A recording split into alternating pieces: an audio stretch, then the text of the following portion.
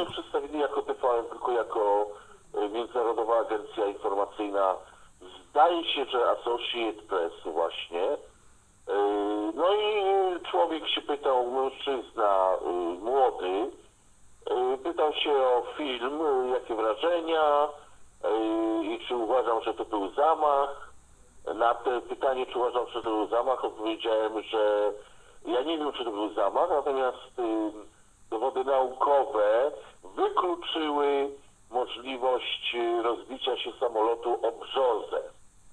To jest absolutnie wykluczone naukowo i yy, aha, bo on się spytał, czy ja wierzę, że to jest zamach. Ja powiedziałem, to nie jest sprawa wiary, tylko sprawa dowodów naukowych.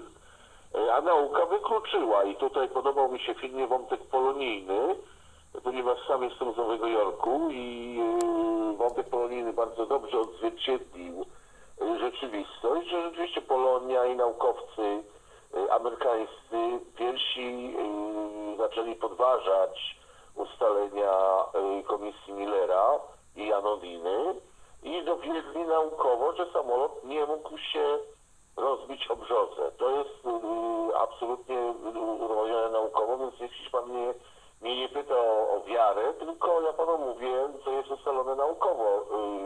Czy to był zamach, czy nie był zamach, nie wiem, bo badania nie zaszły tak daleko. Natomiast jest wykluczone, żeby się rozbiło brzozę i Yy, wiesz, no i, i tak, i tak nie rozmawiałem po prostu, nie? I jesteś przekonany, nie że... TVN, to bym w ogóle yy, z nimi słowa nie zamienił, nie? Ale on się nie przedstawił jako TVN, tylko się przedstawił jako agencja Associated Press.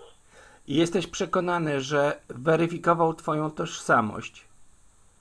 Tak, zapytał się na końcu, yy, czy mógłbym się przedstawić. Ja się przedstawiłem, kamera jeszcze, no chyba, że wyłączył kamerę, no nie wiem, ale światełko się jeszcze paliło na kamerze, więc yy, yy, uznałem, że kamera ciągle jest włączona. Nawet jak nie jest włączona, to nie jest moja sprawa. Yy, on się pytał wyraźnie, czy mogę się przedstawić, powiedziałem tak. Oczywiście Witold.